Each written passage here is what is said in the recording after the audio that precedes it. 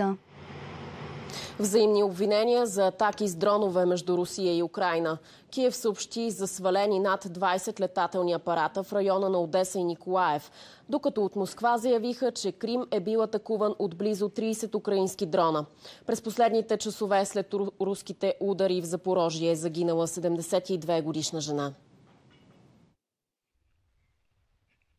За пореден ден жителите на няколко украински области се събудиха от руски атаки. Експлозии отекнаха в Николаев и Одеса, а в Запорожие се съобщава за най-малко една жертва. Според украинската армия Москва е използвала ирански дронове. Освен това от Киев твърдят за руска офанзива близо до Купянски лиман. И допълват, че Русия е струпала 100 000 военни и над 900 танка в района.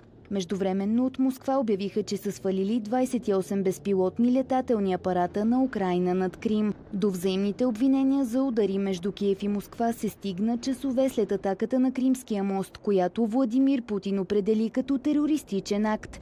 Руският президент обеща ответни мерки.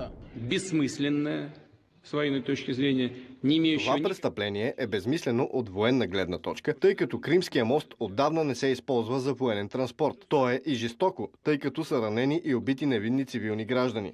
А украинският министр на външните работи постави под въпрос дали Кримският мост може да се счита за част от гражданската инфраструктура, след като по думите му се използва за военни цели. Трябва да разберем едно. Докато Русия е в Крим, докато вярва, че може да изнудва и налага волята си на всеки, проблемите ще продължат. Ще решим това след месец-два. Ще измислят нещо друго. Най-добрият начин за разрешаване на проблема е да победим Русия и да я накараме да се оттегли.